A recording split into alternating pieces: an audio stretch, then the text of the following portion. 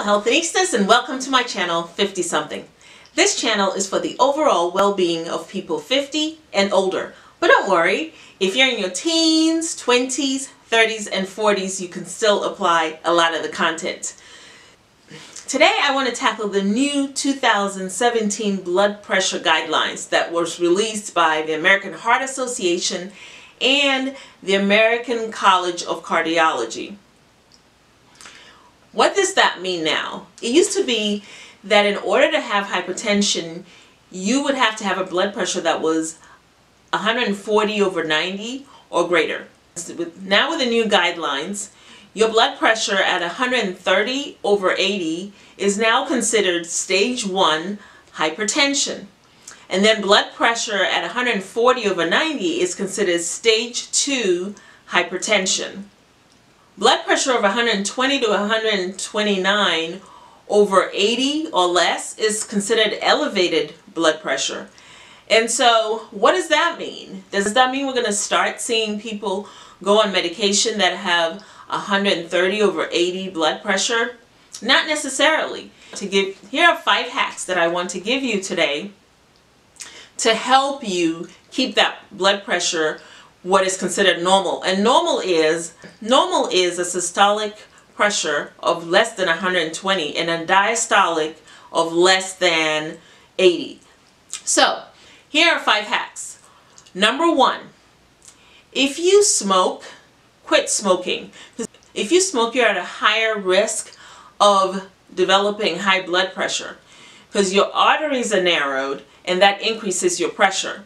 The second thing is if you drink, drink in moderation. A woman has more than one drink of alcohol a day and a guy has more than two a day, you are susceptible to high blood pressure. So, if you drink, drink in moderation. Three, caffeinated drinks also increases your blood pressure. So if you are someone who drinks a lot of caffeinated drinks, reduce that significantly. Four, if you have some extra weight on you, take it off. Start lifestyle changes. Start eating more fruit and vegetables that are much healthier for your body. Cut out a lot of sugars and fats that are not healthy for your body. And you will start feeling better and your blood pressure would go down. You also need to be monitoring your blood pressure. Everyone should have a blood pressure cuff User friendly, as they say nowadays. Absolutely, it yep. really does it. Absolutely, yeah. No, they're very simple. Um, so, so there's a method to taking blood pressure. You want to make sure that you that you're at rest. You've been at rest for at least five minutes, typically at a seated position. A lot of times, I tell my patients to put their blood pressure cuff on their kitchen table. That way, they can just put their arms rest there, and at the end of their breakfast, they can just put put their arm out and take their blood pressure right there. That's a great time to take it. So, how much of this is genetic? Like my grandma and my mom both had high blood pressure. Therefore, my brothers and I all have to keep a close eye on that. Uh, how much of it is genetic? How much can we change by exercise and, and eating right and that kind of thing? That's great. So you can think about it uh, as, as about 50-50, so that, so that about half your risk is genetic, and it's just, it's just how you are, it's just how you're wired, and, and, and it does run in the family. That's my old and, and EP. Half that risk is modifiable, and so then things that, so lifestyle things that you do, the amount of exercise, diet, weight, sleep, um, caffeine, alcohol, all those things uh, affect it.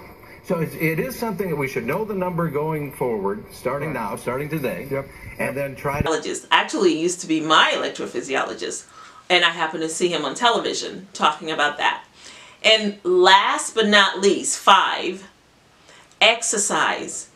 It has been shown that a little bit of exercise, even elevating your heart rate for just 10 minutes three times a week, can significantly reduce your pressure. For instance, personally, I walk over 10,000 steps every day and I'm completely active. But I can tell if I have not gotten my cardio in for the week that my pressure is elevated.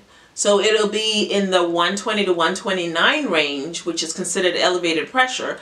But when I start exercising again, when I start doing my cardio, it's definitely in the low range. It's in the teens or even 110 or 106. So those are the five hacks that I have for you.